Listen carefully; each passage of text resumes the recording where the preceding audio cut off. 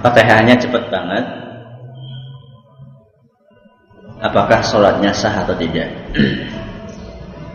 Dia dalam gerakan-gerakannya masih tumak ninah enggak? tumak ninah itu seperti yang sering saya jelaskan adalah kembalinya posisi pada eh, kembalinya tulang pada posisinya. Misalnya ketika berdiri yang nanti nanti jejak ya. Ketika ruku ya sampai betul-betul mapan rukuknya. Dan juga di antara keterangan para ulama yang menunjukkan bahwasanya tuma, uh, keterangan maksud dari tumak nina adalah cukup untuk membaca bacaan satu kali. Kalau misalnya dalam ruku kita membaca subhana rabbiyal ruku subhana rabbiyal azim itu kan disunahkan membaca berapa kali? Ya.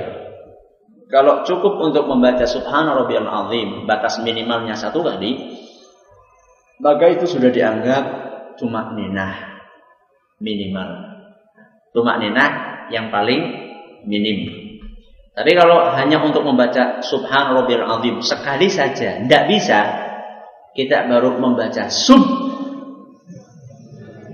nembe sub iki wis menyat imame berarti itu tidak cuma ya silahkan jangan lihat uh, imamnya seperti itu apa enggak. Kalau misalnya seperti itu ya tidak sah sholatnya.